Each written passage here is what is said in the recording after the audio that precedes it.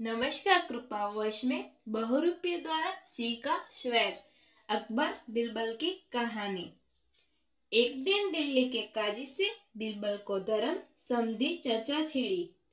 जब काजी सब प्रकार से हार गया तो उसके मन में इस बात के लिए लज्जा उत्पन्न हुई और अपने मन में बीरबल को मार डालने का प्रण कर लिया। ये प्रण कर यात्रा के बहाने बादशाह छुट्टी लेकर नगर से बाहर किसी दूसरे शहर को चला गया और वहाँ अपना नाम पता छिपाकर बहु रुपये का स्वाग सीखने लगा। जब वह उस फन में होशियार हो गया तो बहु रुपये का रूप धारण कर दिल्ली लौटा। शहर में कई जगह उसने नए नए स्वैग निकाले, जिससे लोगों में उसकी कला की उत्तमता की चर्चा फैल गई। धीरे धीरे यहाँ तक कि यह बात बादशाह के कान में जा पड़ी। बादशाह को उसका स्वयं देखने की प्रबल इच्छा हुई। एक दिन शाम को सिपाही भेजकर उसे बुलाया और जब वहाँ आया तो उसे नया स्वाद दिखलाने की आज्ञा दी। जब बोला, पृथ्वीनाथ, मैं सिंह का स्वेग करना बहुत अच्छी तरह जानता हूँ। परंतु उसमें खून भी हो जाने की आशंका रहती है। यदि आपकी तरफ़ से मुझे एक खून की माफ़ी दी जाए तो मैं उसके आपके सामने दिखलाने का उपाय करूँ। स्वयं के समय वहाँ पर दीवान का भी रहना अत्यंत आवश्यक है।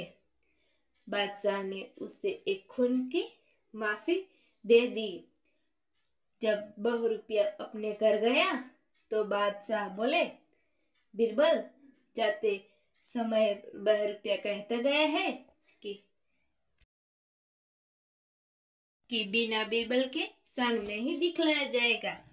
इसलिए उस समय तुमको भी वहाँ उपस्थित रहना लाजिम है। बीरबल ने बादशाह की आज्ञा को स्वीकार कर लिया। परंतु उसी वक्त बहरूपिया की बातों का सिलसिला मिलाने से ज्ञात हो गया। कि हो न हो कि कुछ दाल में काला अवश्य है। यहाँ मुझे धोखा देना चाहता है। इधर बादशाह की आज्ञा का पालन करना भी ज़रूरी है। दूसरे दिन ठीक समय पर बीरबल दरबार दरबार में हाजिर हुआ। इधर बहरूपे भी सिंह का स्वेग बनाकर उछलने, कूदने और तड़पने लगा। कला चातुरी को देखकर बादशाह मोहित हो गया। सभी लोग उनकी प्रशंसा करने लगे। इतने में वह बनावटी सी बीरबल पर चटपटा यह दृश्य देखते ही लोगों को बीरबल के मरने की आशंका हुई। बहरूपिया ने बीरबल को मार डालने के विचार से अधिक परिश्रम किया, परंतु मारना तो दूर रहा। उसके वंदन से एक बूंद खून भी बाहर नहीं निकला। सभी लोग इस दृश्य को देखकर दंग रह गए। बीरबल तो पहले ही से कपट मुद्रा को तोड़ ताड़ गया था। इस वास्ते कुर्ते के नीचे सुदृढ़ कवच पहनकर आया था, जिससे बहरूपये का कोई अस्त्र उसके शरीर को जख्म न पहुँचा सके। बादशाह बीरबल को जीवित देखकर अति प्रसन्न हुए। बात छिपाने के अभिप्राय से बीरबल ने उस बहरूपे की बड़ी प्रशंसा की। बादशाह ने बीरबल से पूछा, इनको क्या इनाम देना चाहिए? बीरबल ने कहा, इनको एक महीने के लिए दीवान पर एक नियुक्त करना चाहिए। बहरूपिया को यह सुनकर मन में प्रफुल्लित हो गया। बीरबल ने कहा जो सत्य का स्वयं ठीक से करेगा, करके दिखलाए तो ऊपर की शर्त मानी जाएगी। अन्यथा नहीं। बादशाह ने इस बात का अपने जवान से दोहरा कर बह रुपये को कहा, जो तू कल सती का सही से स्वयं कुशलता पूर्वक दिखा, दिखलाएगा तो तुझे एक वर्ष का दीवान दिया जाएगा। और यदि चुक जाओगे तो प्राण दंड दिया जाएगा। बहरूपे ने इस बात को स्वीकार कर लिया। दूसरे दिन उसी समय सती स्त्री का स्वरूप धारण कर दरबार में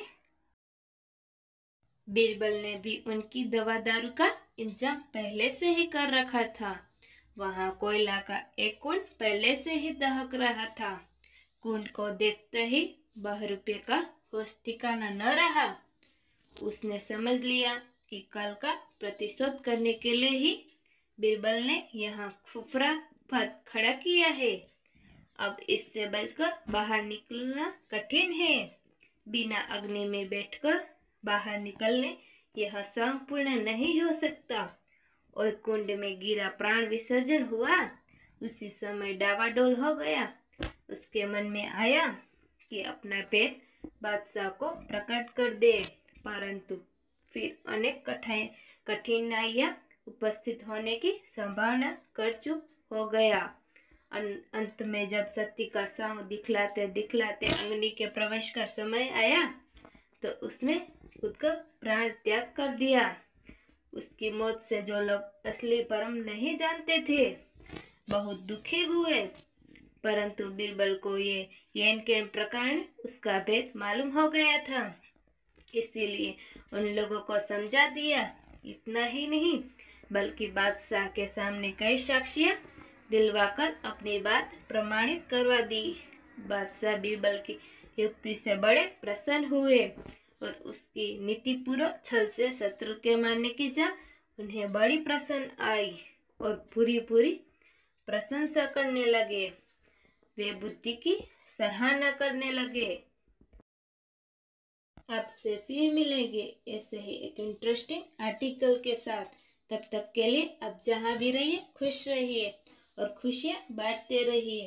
वीडियो आपको अच्छा लगे तो लाइक कीजिए, आपके परिचित लोगों के साथ शेयर कीजिए, हमारे यूट्यूब चैनल सब्सक्राइब कीजिए। आपका बहुमूल्य समय हमें देने के लिए दिल से धन्यवाद। आपका दिन शुभ रहे।